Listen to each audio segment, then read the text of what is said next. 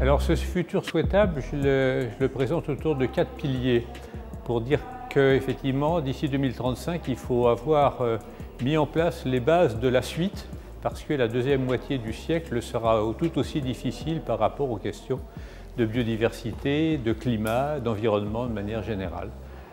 Ces quatre piliers, c'est tout d'abord, il faut absolument sensibiliser tous les acteurs, tous les citoyens à ces enjeux. Il y a encore un gros travail et beaucoup d'imagination à avoir pour que ça devienne vraiment un enjeu de société.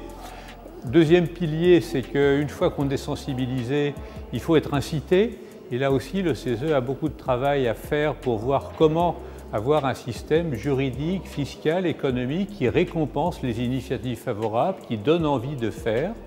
Et puis le troisième pilier, eh c'est la gouvernance, c'est-à-dire, et on l'a vu dans les débats, qu'il faut inventer de nouvelles formes de gouvernance dans un pays qui se veut euh, adhérente au projet démocratique, mais que cette démocratie de demain, cette association de tous à ces grands choix difficiles que nous aurons à faire, il faut faire preuve d'imagination, il faut, comme on le dit, réinventer la démocratie. Et je pense que le CESE, en lien avec les Césaires d'ailleurs, a là un rôle majeur pour trouver effectivement ces nouvelles formes de démocratie sans lesquelles nous ne réussirons pas ces changements difficiles.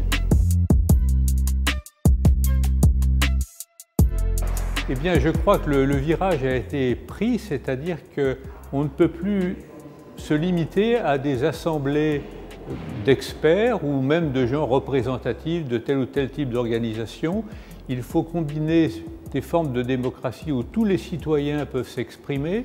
mais sans rentrer effectivement dans la démagogie, c'est-à-dire voir ensuite comment, à partir de cette expression des citoyens, on peut peu à peu créer des consensus, des visions communes, et ce rôle, disons, de, de maïotique, comme on dit, c'est-à-dire d'aider à ce que se forment des visions et des décisions communes, je crois que le CESE, là, doit imaginer de nouvelles formes de travail, et je suis persuadé qu'il est dans la bonne direction maintenant.